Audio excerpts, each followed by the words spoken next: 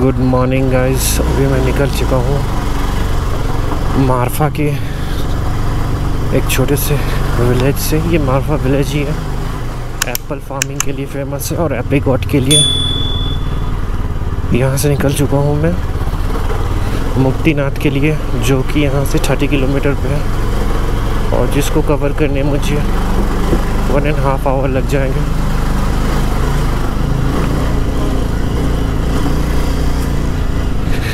ये मेरे ऊपर आप देख रहे हैं वहाँ पे वो नीलगिरी माउंटेन है, जो कि पूरी तरह बर्फ़ से ढका हुआ है। और इस पूरे विलेज में बहुत ही फ़ेमस एप्पल जूस मिलता है, बिल्कुल ऑर्गेनिक ये सारे जो ट्रीज़ देख रहे हैं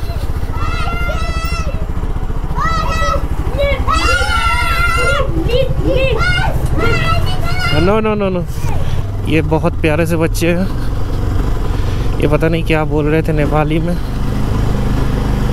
मुझे बिल्कुल भी समझ में नहीं आया।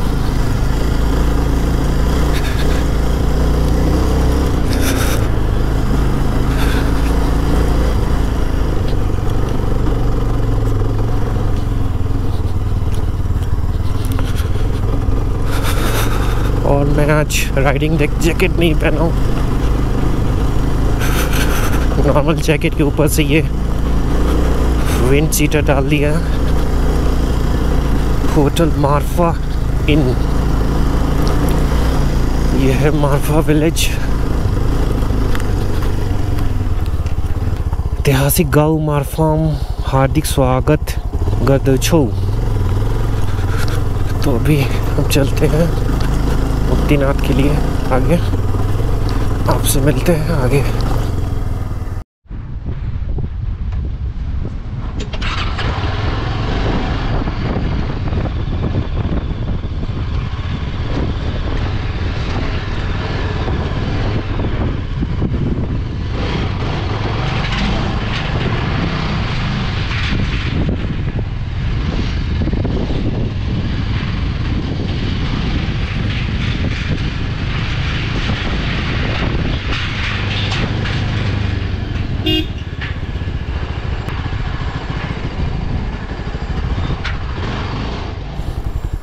ये चेक करो गाइस क्या व्यू है?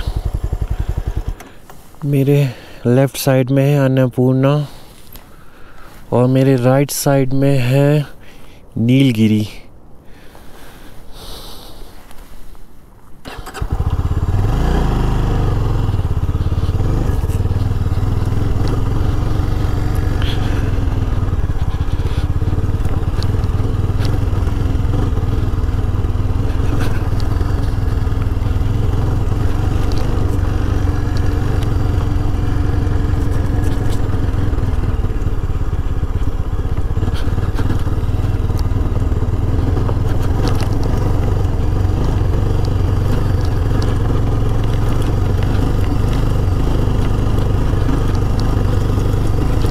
क्या नज़ारा है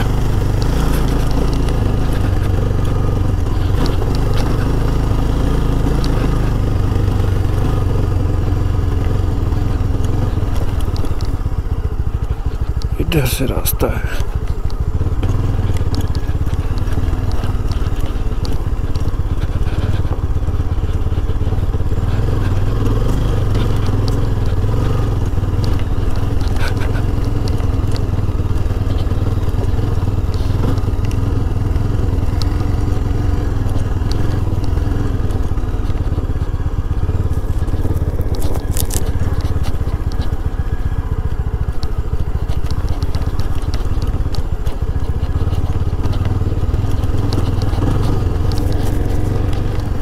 ये चेक करो गाइस ये है बर्फ़ के पहाड़। चारों तरफ़ मेरे बर्फ़ के पहाड़ है।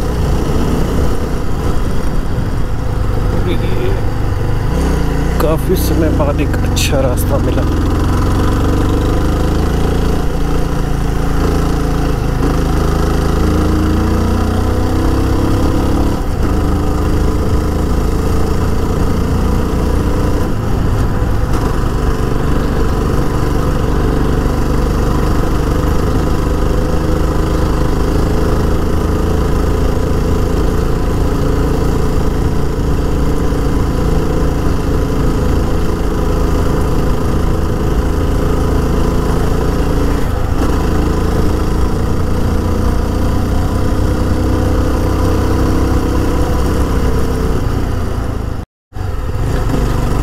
क्या नज़ारा है भाई साहब क्या नज़ारा है बिल्कुल दूसरी दुनिया की तरह लग रहा है।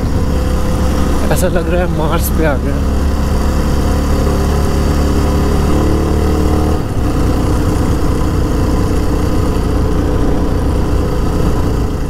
इतनी ऊंचाई पे पूरी तरह से ऑक्सीजन नहीं मिल पा रहा।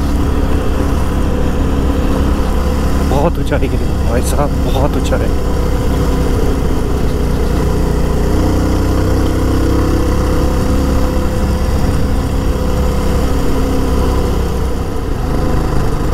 ये देखो भाई लोग, क्या खूबसूरत पहाड़ है। पूरी तरह से बर्फ़ से ढका हुआ इसके पीक्स पूरी तरह से बर्फ़ से ढके हुए हैं। और मैं बस पाँच मिनट में मुक्तिनाथ पहुँचने वाला हूँ। कैसे मुझे पता नहीं चले कैसे लोग यहाँ रहते हैं। कितना टफ लाइफ है इन लोगों का।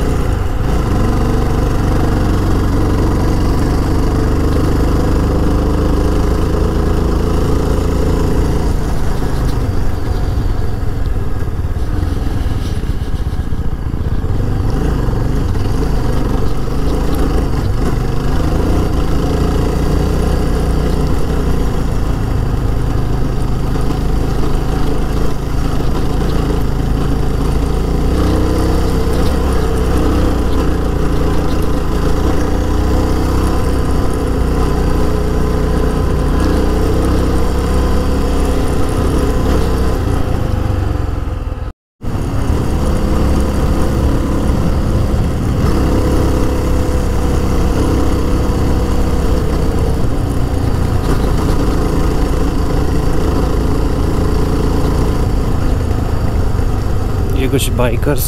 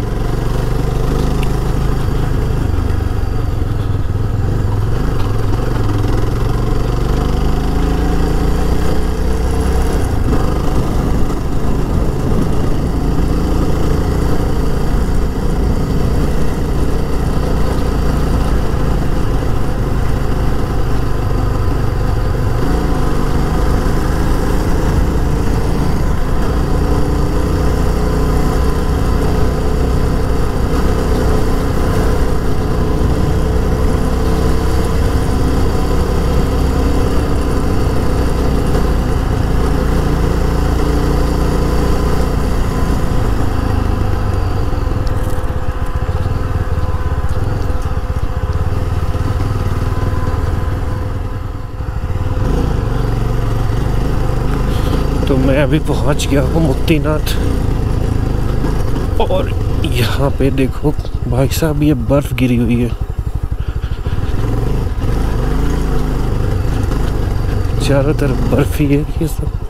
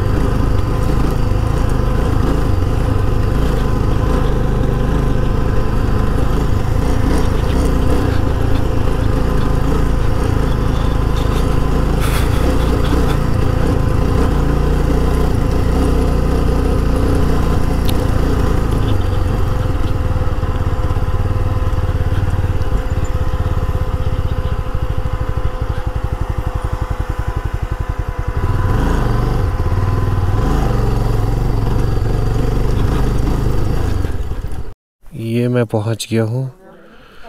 मुक्तिनाथ द्वार, और यहाँ से ऑलमोस्ट मेरे ख्याल से 200 250 सीढ़ियाँ होंगी। और आगे वो मंदिर है। चलिए आपसे मिलते हैं मंदिर में। ये मेरे सामने आप देख रहे हैं।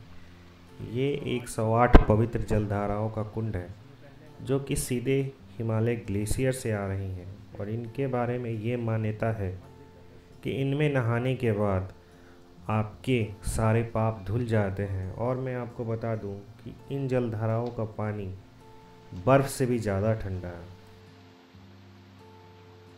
108 जलधाराओं में डुबकी लगाने के बाद इन दोनों कुंडों में डुबकी लगाई जाती है, जिनमें से एक है पाप कुंड और दूसरा है पुण्य कुंड तो मैं मुक्तिनाथ मंदिर के बारे में आपको बता दूँ कि मुक्तिनाथ वैष्णव संप्रदाय के प्रमुख मंदिर में से एक है। चौदह हज़ार फीट पर बसा हुआ ये दुनिया के सबसे ऊँचे मंदिरों में से एक है। यहीं पे भगवान विष्णु शालिग्राम शिला में निवास करते हैं और उनकी पूजा की जाती है।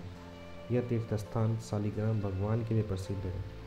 शालिग्राम एक दरअसल पवित्र पत्थर होता है, जिसको हिंदू धर्म में पूजनीय माना जाता है और यह मुख्य रूप से नेपाल की काली गंडकी नदी में पाया जाता है। मुक्तिनाथ की अभी तक की मेरी यात्रा जो है काफ़ी मुश्किल रही। फिर भी मेरी तरह यहाँ पे हिंदू, बौद्ध धर्म के बड़ी संख्या में लोग आते हैं और यात्रा के दौरान मुझे हिमालयन रेंज के एक बड़े हिस्से को पार करके आना पड़ा और यह हिंदू धर्म के सबसे दुरस्त तीर्थ स्थानों में से एक है।